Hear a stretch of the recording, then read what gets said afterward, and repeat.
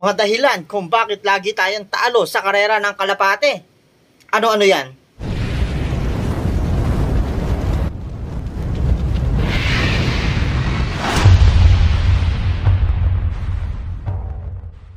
Yun, welcome back mga tropa dito sa Maclon Brothers TV. So yun na nga yung pag-uusapan natin for today's video mga tropa. Ano ba yung mga dahilan kung bakit lagi tayong talo sa karera, kung bakit lagi tayong gulong. Yan yung pag-uusapan natin for today's video mga tropa. Magandang topic na naman. So ano pa natin nyo? Simulan na natin yan. Unang dahilan mga tropa, nang gagaya tayo ng sistema ng iba. Paano masabi?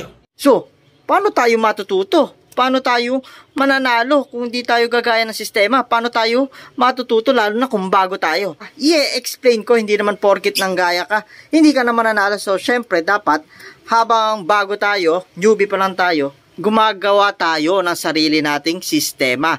Pwede tayong kumuha ng idea sa iba pero hindi yung mismong kanila yung gagayahin natin. Syempre, mamaya sa kanila, effective yun tapos sa atin, hindi naman pala effective, 'di ba mga tropa? So, titingnan natin kung ano yung effective sa atin. Kasi mamaya may epektibo na tayo na sistema. Tapos makakakita ka ng sistema ng iba. Gagayahin mo pa rin mga tropa. De, ang kalalabasan, sasablay ka dyan. Kasi may sistema ka ng okay, nakakita ka ng bagong sistema, gagayahin mo, dun ka na sasablay mga tropang kalapatids. Dun ka na magkakamali kasi Makikita mo naman yan sa ibon eh. Kung okay na yung sistema mo, maganda magiging kondisyon ng ibon mo, maganda yung kalalabasan, ma-experience mo yun. Makikita mo yun mismo sa loob mo. Tapos, kung ganun na, maganda na kinalalabasan sa ibon mo. Tapos, syempre, eh, dami natin napapanood dyan. Nanonood tayong YouTube, Facebook, tapos mga kung ano-ano pa nababasa natin. Makakabasa tayo, makakapanood tayo ng kung ano-anong sistema.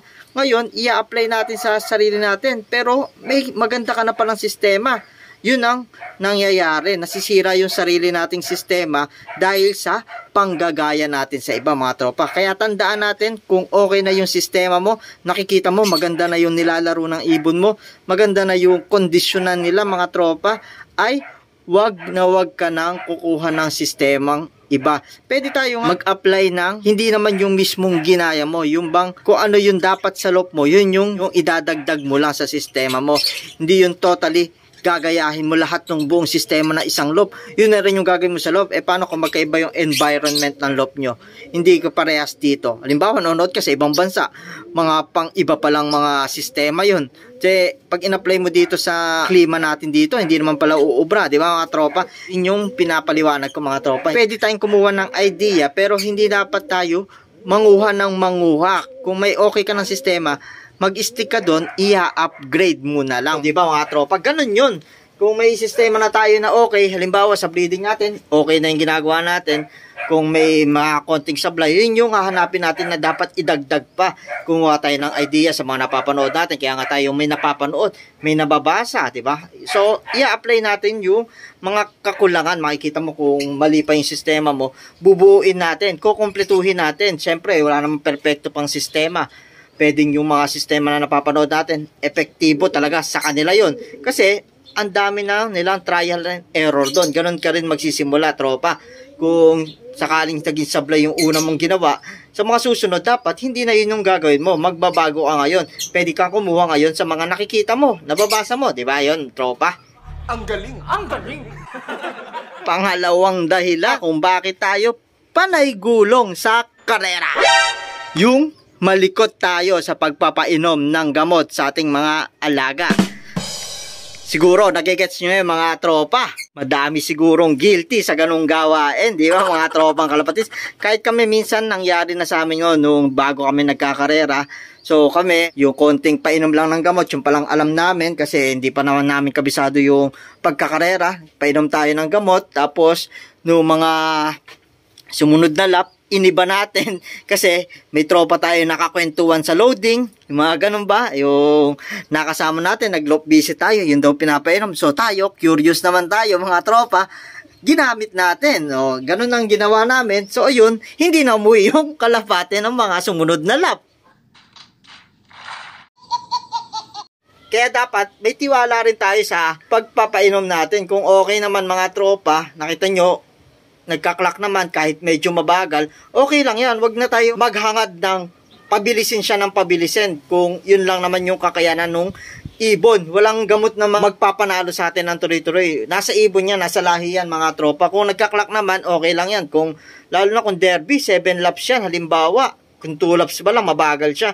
Kung maging consistent yan, yung mabibilis naman mawala. So, may chance ka pa rin manalo, di ba? Huwag na tayo yung magpainom ng, ito, pampabilis to. Gamitin nyo. Ayan, pala, pag gamit mo, ayaw, sablay, di ba? So, masisira na yung sistema mo, masisira pa yung lipad ng kalapati mo. So, wag ganon mga tropa. So, pwede mo sigurong gawin nyo. Kung may bago kayo natuklasan na gamot, may bago talagang epektibo, maraming na papatunay. So, gamitin mo yun sa mga susunod na na season ng karera. Kung di naging epektibo yung naging sistema mo na pagpapainom ng gamot sa derby ngayong season, so next season mo baguhin. Next season ka magpalit at maghanap ng bagong sistema ng pagbibigay ng gamot at mga bagong supplements na magpapadalo sa iyo. So, yun ang iwasan natin. Pangatlong dahilan mga tropa kung bakit tayo laging talo sa karera. Wala kang tiwala sa sarili mo, ibon o linyada. Siguro dito marami ring tatamaan dahil kahit kami minsan nangyari na rin to sa loob namin.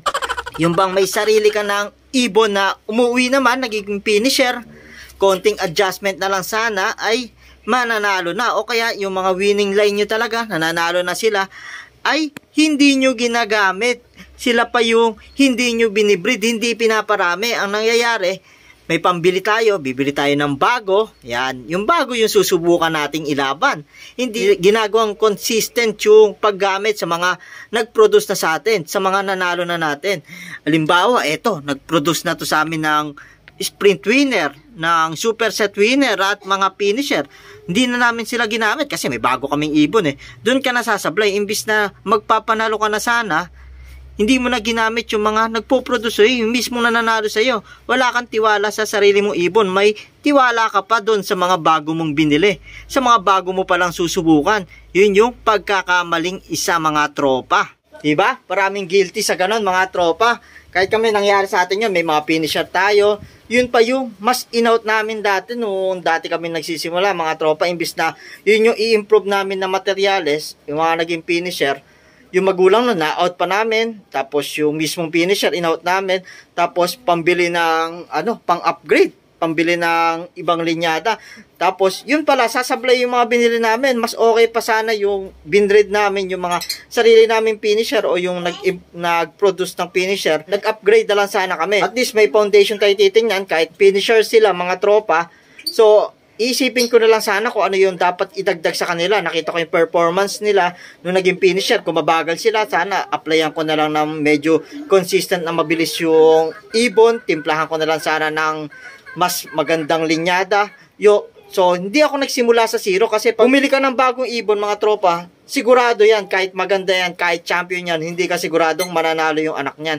Magsisimula ka pa rin sa pinakababa, sa zero, mga tropa, hanggat di mo nasusubukan yung anak niya eh, gaano pa katagal? Mga isang taon pa bago mo masubukan yung linyada na bago mong bili. Eh, kung young bird pa yan, de mas matagal pa, mga tropa. Tapos, magbibreed ka pa. Tapos, next year pa yung karera. Eh, kung may producer ka na, o kaya may finisher ka na, at least may, hindi ka na mag, sisimula sa zero, medyo kalagitnaan ka na, alam mo na lang yung idadagdag sa kanya. So, yun yung pag-upgrade. Dapat ganun yung ginagawa natin. Iwasan natin yung pabago-bago ng ibon kada season ng karera. So yun yung mga dahilan mga tropa kung bakit tayo laging gulong sa karera yan. Huwag yung gayahin. Ganyan yung ginawa namin kaya panay gulong kami. Di, mga Gago! mga tropa. Sinishare ko lang sa inyo yung mga naging maling experience, maling mga nagawa namin. So hindi nyo na kailangan magawa pa yon mga tropa. So yun yung mga dahilan na yon Kaya sana magtamasa na tayo. Yan, sana matagdagan na yung mga collection natin dito. Matagal-tagal na tayong ano, hindi na nalo yan. Nilulumot na sila dito. Panay dumi na mga tropa. Ayan, no? Eh, yung mahuli natin pala kasi masyado na tayo naging busy-busy. Busy-busy yan mga tropa. So, sana nag-enjoy kayo at may natutunan. Kung gusto niyo ng part 2, yan, comment down below. Magtuturo na tayo puro sistema at yung mga maling gawain natin ay maiwasan. So, yun lang yung video ngayong araw mga tropa. Sana nag-enjoy kayo, comment kayo kung may gusto pa kayo malaman at maging content natin at content din natin dito yan sa vlog natin mga tropa. So yun lang yung video ngayong araw. Kung ikaw, bago ka sa channel namin, welcome sa Maclon Brothers TV. So ikaw nanonood ka, di ka pa nakasubscribe, subscribe ka na. Click mo na rin yung notification bell para updated ka sa latest upload sa amin. Yun lang mga tropa, maraming salamat.